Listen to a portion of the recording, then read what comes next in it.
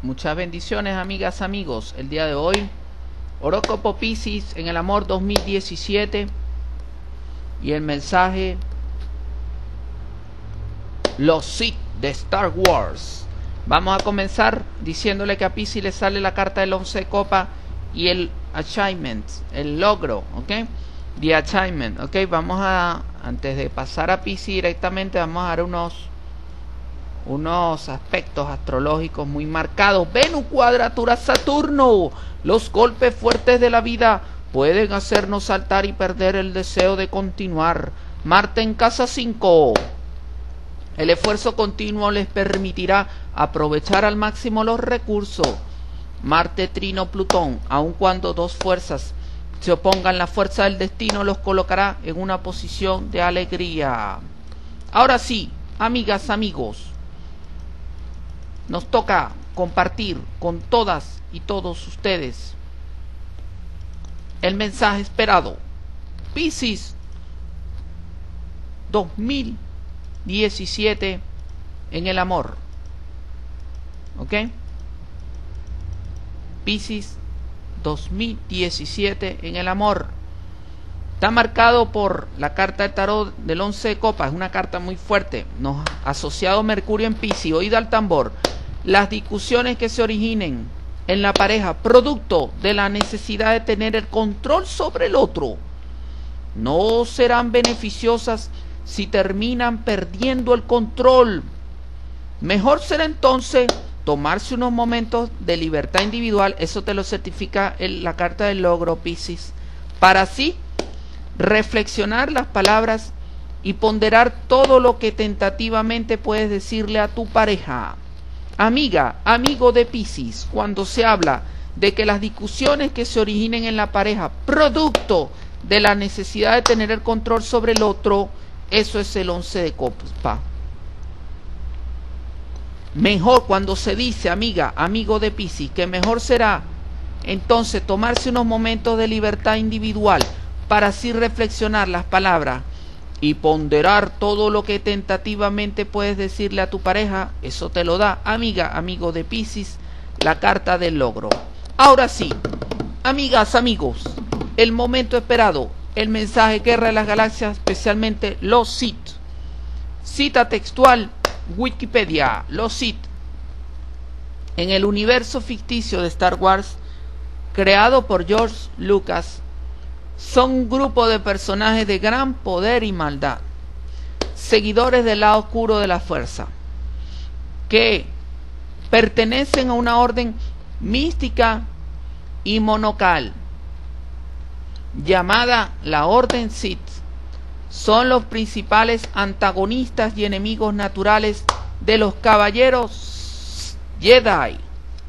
Originalmente eran una antigua raza humanoide que sirvió como esclava, como esclava al imperio infinito de los Rakata.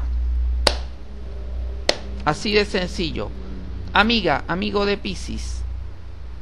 Amiga, amigo de que estás escuchando este mensaje, de todos los signos que me escuchan el mensaje de los Sith.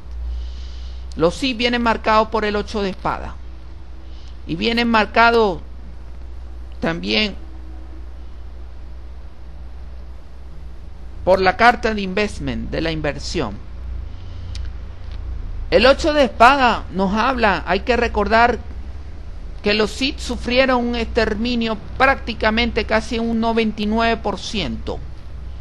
A partir de allí llegó un Lord Sith creando la regla de los dos pero hay que decir que ese exterminio pasaron por un ocho de espada, no hay duda. Pero llega ese Lord Sith y crea a través de ese orden implícito una inversión. Y con el paso de los tiempos, el Lord Sith Palpatine logra avanzar manteniendo esa regla básica de que siempre hay un maestro y un aprendiz logra avanzar hasta el punto de tener un control verdaderamente importante inclusive sobre algunos Jedi, al lograrlos hacerlos pasar al lado de la fuerza, al lado de la oscuridad. Desde el lado de la luz, lo fue seduciendo, lo fue manipulando y lo fue incorporando al lado de la oscuridad. Así pues, amigas, amigos, los Sith, así como en lo que sería lo que sería el Tao, la rueda del bien y el mal, ellos pertenecen al lado oscuro, mientras los Jedi pertenecen al lado blanco.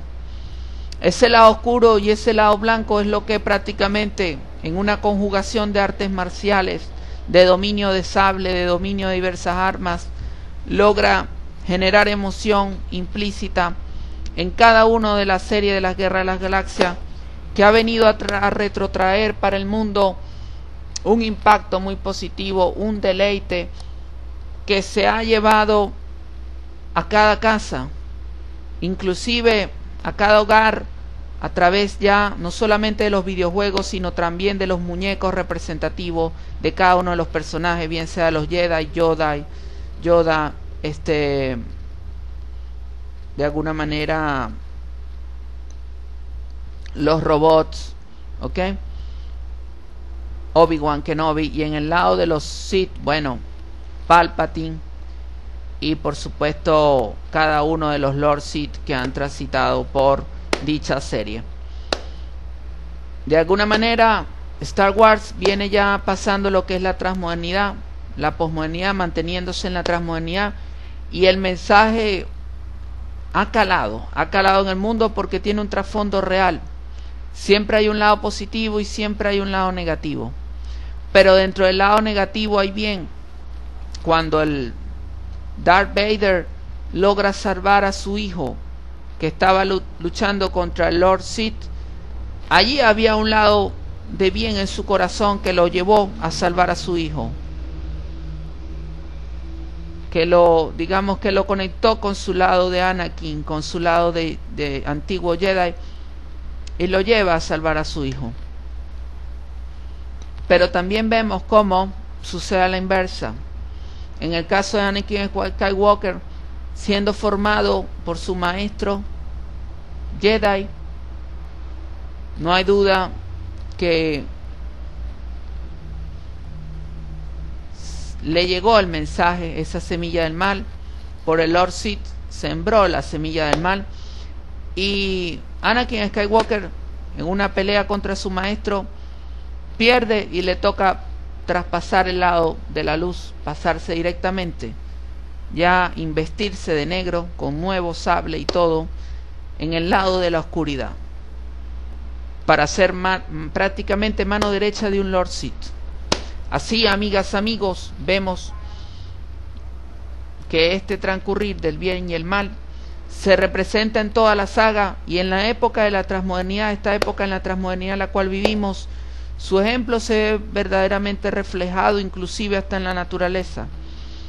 Hay momentos, hay lugares que sufren tranquilidad, tiempo de serenidad, tiempo de bonanza económico, eh, bonanza económica, pero también llega un momento, por ejemplo, si no sabemos cuidar la naturaleza, en que la naturaleza nos va a seguir diciendo, epa, ya va un momento, yo soy la importante, te envío un tornado, te envío un ciclón, te envío una tormenta, te envío entonces un huracán para que entiendas que yo soy la verdaderamente importante. O sea, no podemos dañar el cambio climático. Por ello, amigas, amigos, en la época de la transmodernidad estoy planteando que ya para la biomodernidad a partir del 2042 debemos de comenzar a respetar a la naturaleza, dándole ese 80% de espacio a ella que se lo merece y sobre todo respetarlo.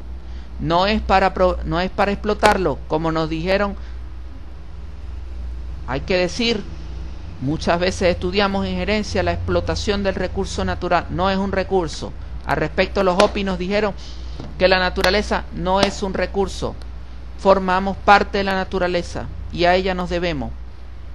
Por lo tanto, amigas, amigas, al debernos a la naturaleza, tenemos que tener claro que debemos respetarle su 80%. Para ella, para ello, nuestra civilización debe de comenzar a construir la casa solo a nivel del 80%. solo a nivel del 20% del territorio y reservarle el 80% a la naturaleza. Más allá de respetar las cotas, las cuotas medioambientales, tenemos que seguir avanzando para descubrir. Ya no será entonces tanto el énfasis en los nuevos, las nuevas tecnologías, sino descubrir los árboles, el florecimiento de las flores y encontrar allí nuestro propio renacimiento. Así, amigas, amigos, de alguna manera quiero decirles que este fue el horóscopo Pisces en el amor 2017 y el mensaje Star Wars Los Sith. Quiero recordarles que el maestro Buda está con su flor, el loto, flor de loto, brillando en flor dorada para las naciones del mundo. También la Madre Celestial el día de hoy llega y nos otorga su corona de luz, de bendiciones para que podamos reinar, así como en la tierra, como seres de luz, como sus hijos bendecidos. Recuerden, este fue el horóscopo de Enrique. Estoy para apoyarlos desde www.welcomeme.blogspot.com. Muchas bendiciones a todos.